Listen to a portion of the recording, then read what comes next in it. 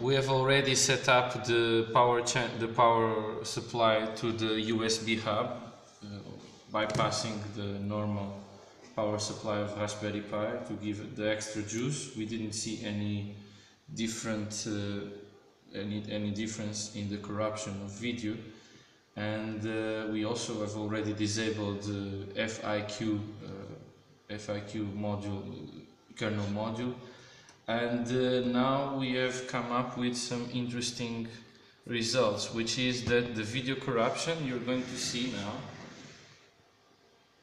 is not so severe. You can see the video corruption but it's not so severe.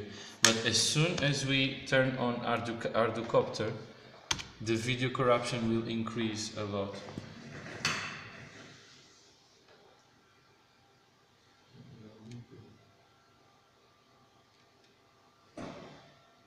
You see now it's became significantly worse.